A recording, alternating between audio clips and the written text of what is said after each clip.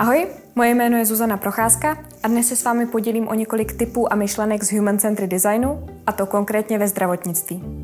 V Direct People jsme je pozbírali během práce na projektech Prolinet, Dr. Max nebo třeba VR Medical a spoustu dalších.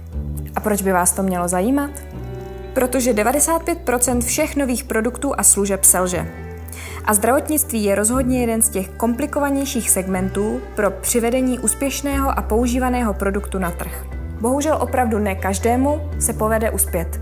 Příkladem takového neúspěšného projektu je například digitalizace amerického zdravotnictví. Po jejím zavedení se zvýšil počet vyhoření pracovníků ve zdravotnictví na více než polovinu.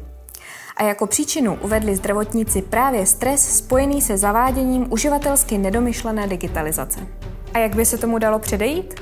Třeba kdyby během procesu digitalizace byla použita metodika HCD. A co to vlastně je?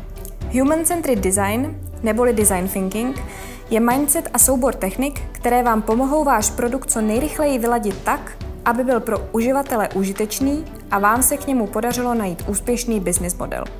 Krásným příkladem použití HCD v lékařské praxi je příběh baby monitoru OLED. Původním plánem bylo využít OLED v nemocnicích, zbavit se drátů na monitorech dechu a usnadnit život sestrám. Jenže tato nová technologie byla násobně dražší než stávající řešení a taky nemocnice nebyly schopné nakoupit.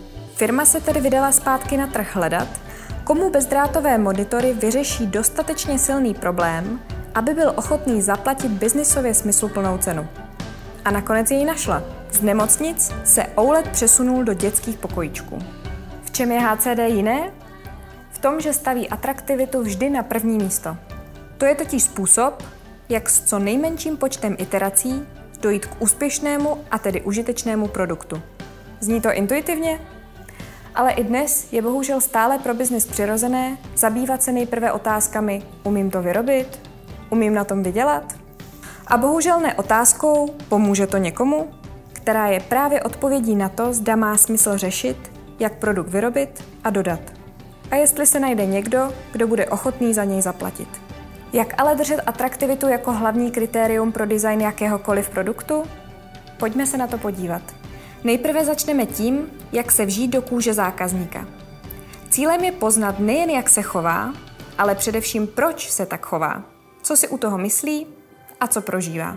Z tohoto poznání pak definujeme příležitosti, což jsou jinými slovy nevyřešené potřeby zákazníka, které má smysl zkoušet naším řešením vyřešit lépe.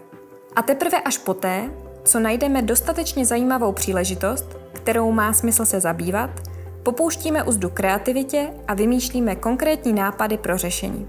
Tady firmy často chybují. Místo toho, aby se zabývali řešením konkrétního problému, nahodile testují různá řešení neověřených problémů. Atraktivitu nápadů také ověřujeme přímo se zákazníky. Z nápadů, které postupně sprioritizujeme dle jejich zajímavosti, postupně skládáme komplikovanější koncepty. Ty ale nejdeme hned vyrábět, nejdříve hledáme co nejlevnější a nejrychlejší cestu, jak si ověřit, že je dokážeme prodat. A to i v případě, že zohledníme limity business modelu a proveditelnosti. Zní to jednoduše? Ve zdravotnictví vás navíc čeká ještě několik výzev. Vemte si třeba cvičení ve virtuální realitě. Nástroj, kde pacient rehabilituje pomocí hraní her ve virtuálním světě – kdo je vlastně zákazníkem?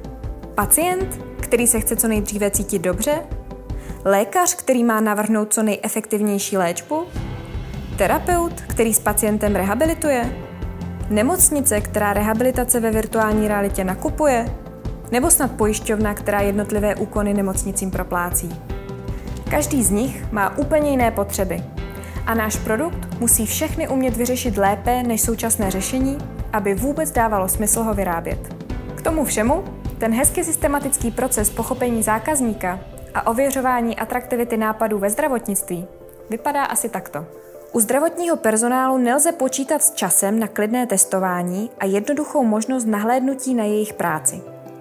Další překážkou je, že nejen mezi trhy, ale i mezi jednotlivými pracovišti existují obrovské rozdíly a velmi těžko se dostává k lidem zpět pro dovysvětlení a přesné pochopení jejich potřeb. Není to ale neřešitelný problém.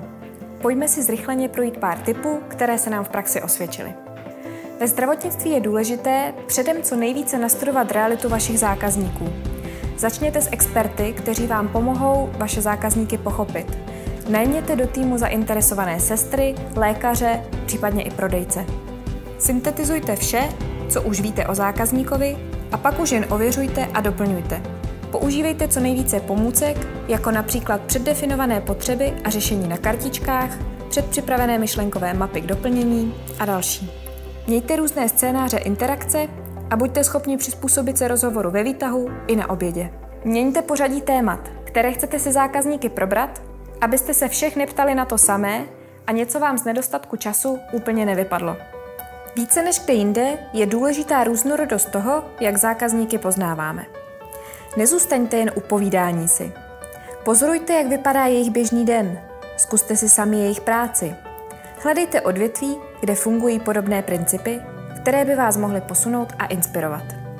Není to jen o tom, co vám zákazníci dokáží a chtějí říct, ale je třeba pochopit, co oni sami nevidí nebo si nechtějí připustit. Na setkání se zákazníky se dobře připravte. Měli byste mít identifikované některé základní potřeby a představu o možných řešeních. Ukažte jim je. Ověřte si je, ptejte se na feedback, na možné směry, kterými by se vaše návrhy mohly ubírat. Poznatky poté i hned zpracovávejte a získávejte od dalších zákazníků reakce na změny. Experimentální ověření ochoty platit za dané řešení je na tentrově založeném trhu rozhodně oříšek. Nenechte se ale odradit a použijte co nejlepší aproximace. Můžete například sbírat podepsaná prohlášení o vážném zájmu, nebo můžete otestovat, zda budou vaši zákazníci ochotní domluvit vám schůzky s vedením nemocnice. Důležité je nevzdávat to. Užijte si celý dobrodružný proces tvorby inovací, dělejte chyby, poučte se z nich, protože bez selhání není inovace. Držíme palce.